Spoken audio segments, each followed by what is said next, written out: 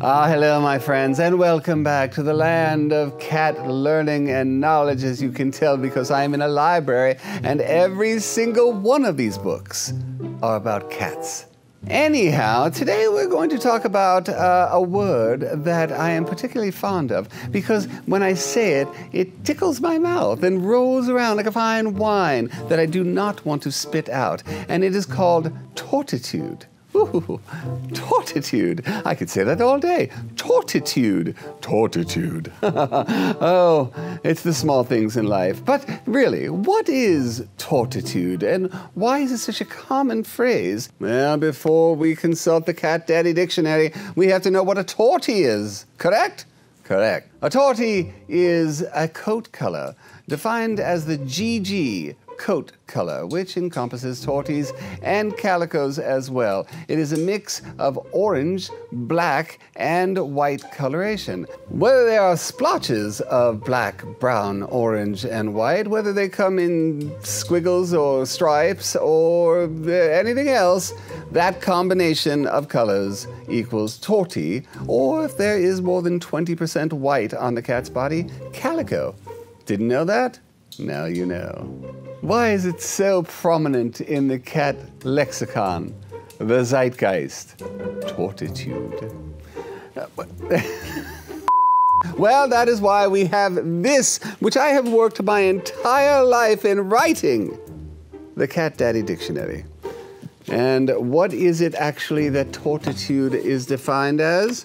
A portmanteau of tortoiseshell and attitude, referring to the common stereotype that tortoiseshell cats have a feisty, independent, and strong willed personality.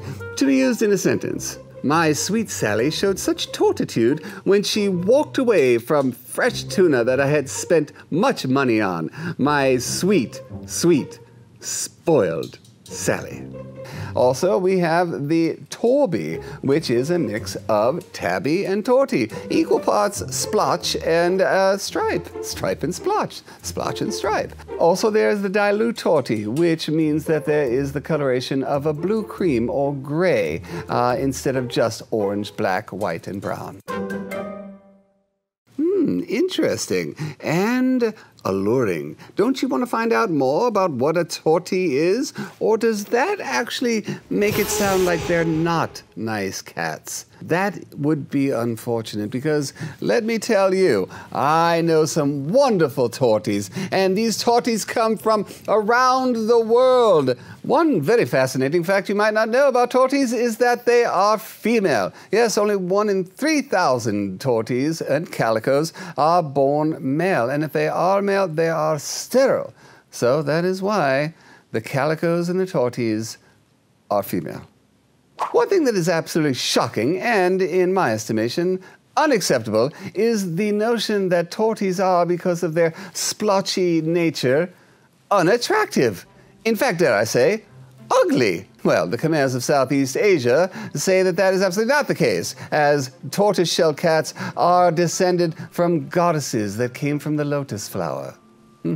Well, we around here agree wholeheartedly. As a matter of fact, we reached out to our Team Cat Mojo members around the world to show us how beautiful torties and calicos could be, and here are just some of them. Not to play favorites or anything, but if you can, then you should. And this little beauty is Luna. Luna belongs with Team Galaxy's Lindsay Robbins. Luna is indeed a dilute tortie. Dilute meaning that she has the bluish cream gray coloration. I sound very smart, don't I? It's the accent. And this little lovely tortie, this is Sailor. Sailor who belongs with her person, Barb, who gave her these wonderful wheels to help her along in life because she has cerebellar hypoplasia and is also blind. But a wonderful life she still has with Barb. Behold the power of Zelda. And one of the tricks that her person, Andrea, has taught her is how to levitate little green leafy toys on the top of her head. Now, if you take a look at Zelda, you might think to yourself, well, she's not a tortie, she's a black cat. But no, you'd be wrong. Little bitty spots of brown on her say, I am tortie, hear me roar. And so many more torties sent in for our consideration here. Look at how beautiful they are. It is a parade of tortitudinality, and I am proud to present it to you exclusively. And if you would like to send in either video clips or pictures of your torties or your calicos, send them right here, and we might just feature them in our next video. Now, uh, however smart I may seem here, uh, I am just an arbiter of the adorable and the cute, but not truly the facts. I have reached the end of the rope of knowledge, as it were, and it's now time for me to pass it on to that guy who thinks he's smarter than me and in some ways might be, but he's not as dashing. Regardless, let's send it over to him. Well, you know, I do appreciate Nigel's uh, confidence in my knowledge base, but I don't know. I really don't. So, just as he sent it over to me once his knowledge rope ran out, my rope is running out. So, I'm going to send it over to my good friend, Mikel Delgado, PhD, who's going to pick up the rope here. Mikel. Aha. Now I get to put you on the spot, Mikel Delgado. You had co authored a study um, back in what, 2017? 2012. Was it 2012? It was 2012, yeah. We published a study that was asking people to rate different personality traits in different colors of cats. So we just wanted to see do people kind of have preconceived notions that orange cats are one way and black cats are another way and tortoiseshell cats are a different way. You know, they, they tended to rate orange cats as friendly, they tended to rate tortoiseshell cats as aloof, intolerant was the other um, label they got ascribed to them. Two other studies have also found, again, based on surveys of cat owners that people report that tortoiseshells are more aggressive in certain contexts, but it does seem to be this kind of common thread that people come back to. We know people use the term tortitude for a reason, and the question is is this you know is is coat color destiny or is it a bias that people come into their relationship with a tortoiseshell cat with or is it a little bit of both do you feel like the term tortitude is an attempt of endearing certain behavior, or is it more destructive and, and, and could possibly lead to higher euthanasia rates of, of torties? I do worry about the term because we know personality is not just genetics, it comes from your socialization, it comes from the environment you live in. Um, so, so let's not just say, oh, if they're a, t- a tortie, then there are going to obviously be problems. Let's just remember that you uh, live with torties, yes? I have three. And their names are?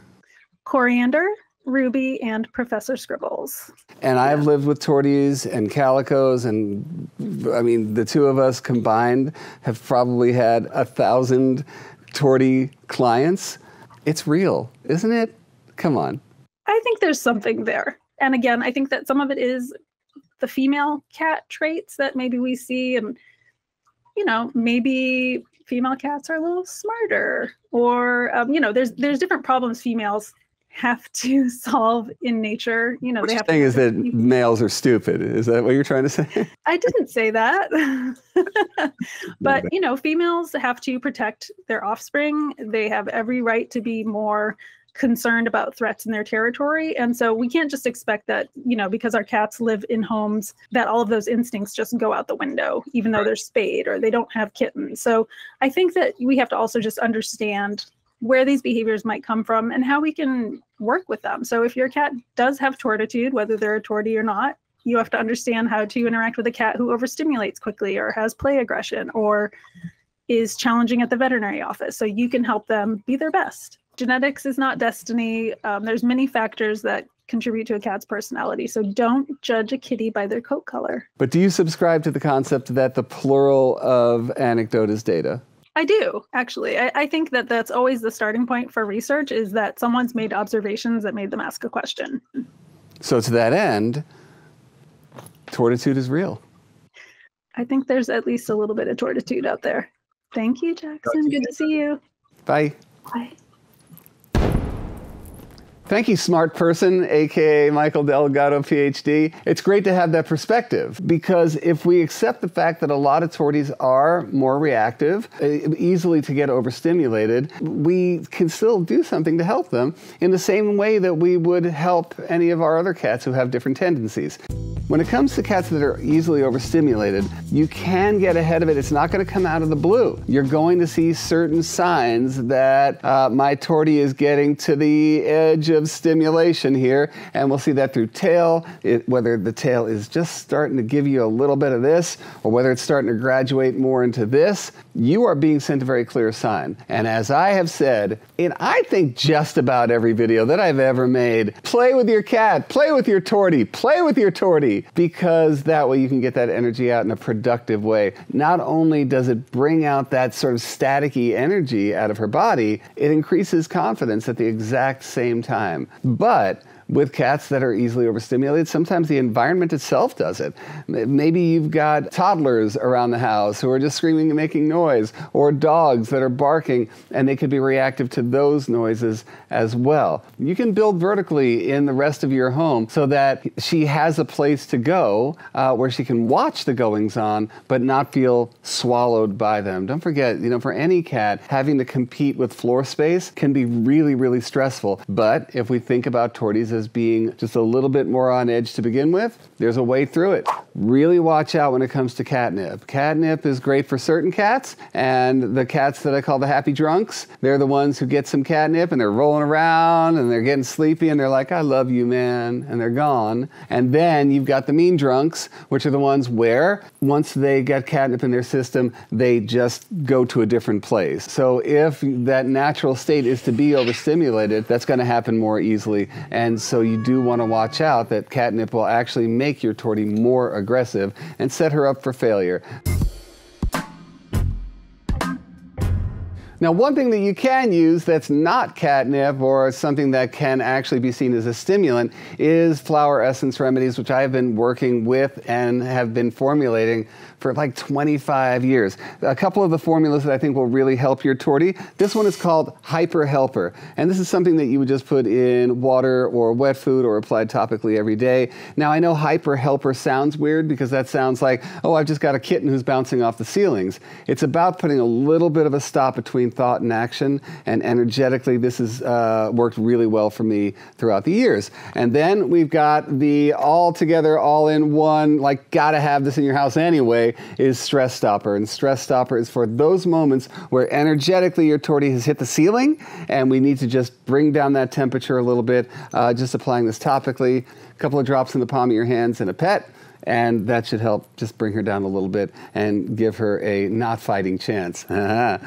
So there's some really important things that I want to circle back to here uh, based on everything we've been talking about and our conversation with Mikel today. We, we have talked about today about how tortitude can be used in an endearing way of saying, I love my tortie and this is just part of her and I belong to a club of, of people who love these animals. And then we have the other side of this that Mikel and I both talked about where it's real that the perception and the words that go along with the perception stop these animals from being adopted, make them stick around in shelters longer, and actually can contribute to higher euthanasia rates of these beautiful torties. We do have to watch out, and we do have to watch out how we use words like intolerant or aloof or spicy. Let's not forget that there's data, there's studies, there's uh, multiple anecdotal studies that say that people see white cats and they think of them as more shy, or that bicolored cats like black and white or gray and white cats